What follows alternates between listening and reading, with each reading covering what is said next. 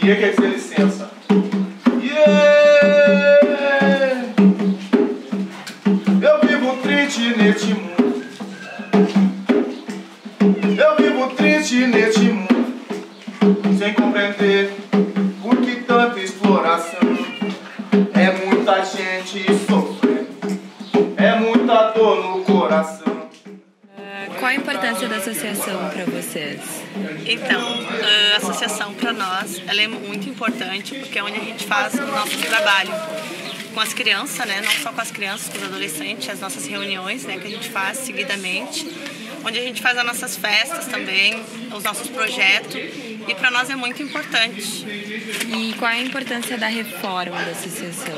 Da reforma, hoje a gente tem um espaço que ele está levantado, mas ele é precário, porque que nem quando chove a gente não pode fazer atividades. Teve um Natal que a gente fez que a gente tinha que estar tá correndo com as mesas porque chovia, como se estivesse na rua.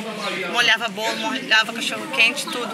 Então para nós é muito importante ter um espaço fechado onde a gente possa ter o nosso espaço, podemos ter a cozinha, podemos ter o fogão para a gente ter tudo centrado na associação, as coisas da associação fica na associação. Então isso é muito importante para nós. Até mesmo para o clube de mães que a gente está querendo formalizar, né?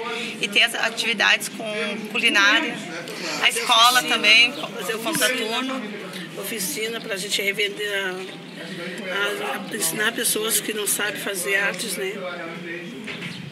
E, e, aí é isso também, o espaço também a gente também usa com a capoeira, né? Que toda semana a gente tem, todas as terças e quintas a gente tem a capoeira aí para criançada e também para os adultos. Todo último sábado do mês a gente faz a roda. Não pode aceitar a dominação.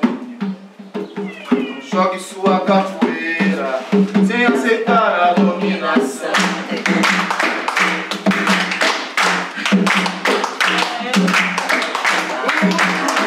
Atenção!